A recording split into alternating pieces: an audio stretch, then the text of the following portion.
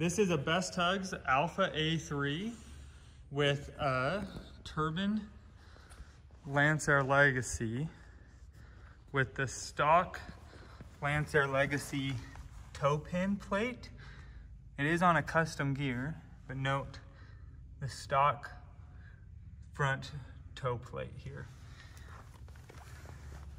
We'll hook up this tug and show how it all works. So what we recommend doing, turn the tug off, push the tug up to the aircraft.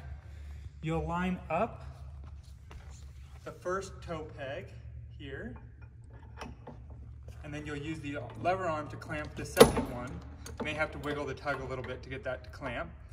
Once it's on, you're gonna be able to, to lift and move the tug.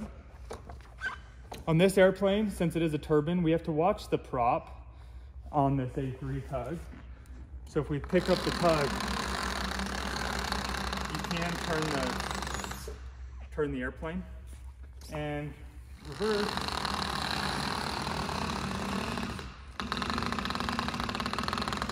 So that you're able to push it into like tighter situations.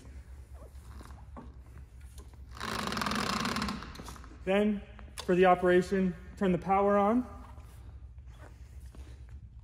Shows you your battery state of charge. So you got your master switch, you got your light switch, and then you have high, low range. Because we are in a tight hangar, I do recommend low range, and we don't need the light on. But you've got your throttle inputs. Your left thumb or your right trigger finger will come backwards, and your right thumb will go forwards.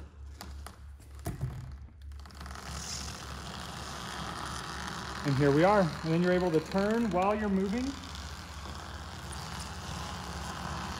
We also have a pivot feature in the front so you can steer without picking the tug up. So you could just crank the tug over and steer it as you go into the hangar.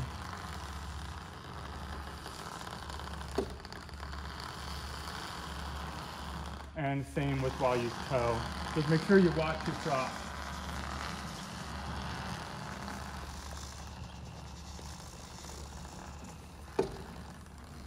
Anyways, there's the Best Tugs Alpha A3 on a highly modified Lancair Legacy, but with the stock Legacy toe pins and pegs.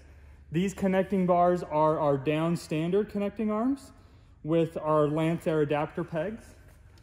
And you can see here that even on this slick painted floor, we're able to get this airplane in and put it into a nice tight hangar situation.